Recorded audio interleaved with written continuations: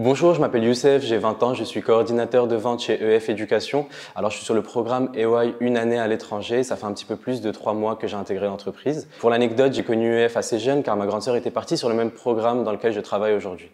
J'ai intégré EF l'année dernière pour un stage en entreprise, directement à l'agence de Paris. C'est un stage qui m'a beaucoup apporté en tant que jeune étudiant. J'ai pu connaître de nouvelles choses et, m'enrichir.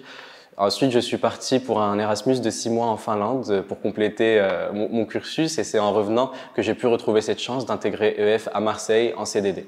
Moi, ce qui me donne envie d'aller au travail tous les jours, c'est vraiment la nouveauté. Chaque nouvel appel est une nouvelle histoire, chaque nouvel étudiant a un nouveau projet. Il faut vraiment rester à jour, sortir de sa zone de confort et s'informer sur les actualités, les nouveautés et puis les cursus, parce qu'on conseille les étudiants, mais on impacte vraiment leur vie. Je suis nouveau dans le monde du travail et chez EF, donc c'est vrai que j'ai été responsabilisé assez vite. Donc euh, je suis vendeur, mais avant tout conseiller. J'accompagne l'étudiant dans sa démarche depuis sa demande d'information jusqu'à son départ. Je lui présente les différentes destinations qui s'offrent à lui, les programmes, les hébergements et les activités.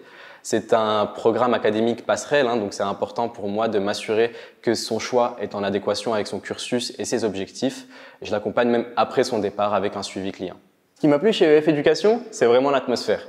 J'ai intégré une entreprise assez jeune, j'avais pas beaucoup d'expérience et j'étais stressé, mais on m'a donné tout ce qu'il fallait pour réussir et on m'a mis à l'aise.